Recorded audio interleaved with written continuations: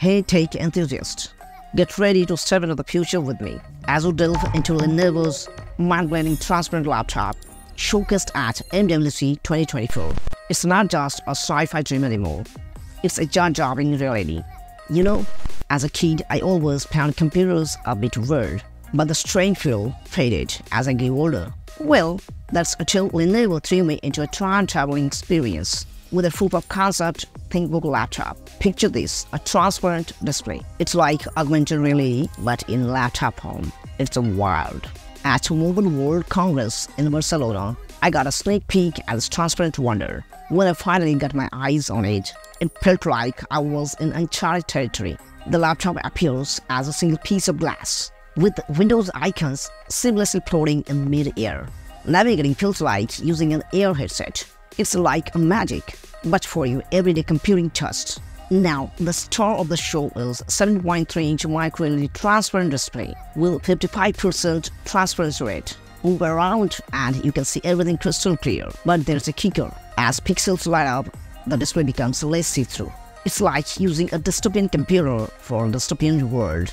Yet it functions like the laptop we're used to.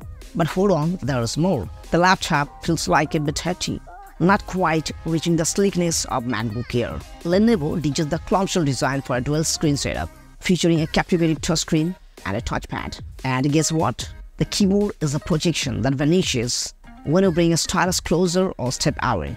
Clearly minds take a note. It can transform into a giant tablet, unlocking new possibilities. Now on the back, there's a camera strategically placed for object identification and generative AI. Put a flower behind the screen and the laptop identifies it, displays the information, and even conjures up uh, a butterfly. It's like having a virtual encyclopedia right at your fingertips.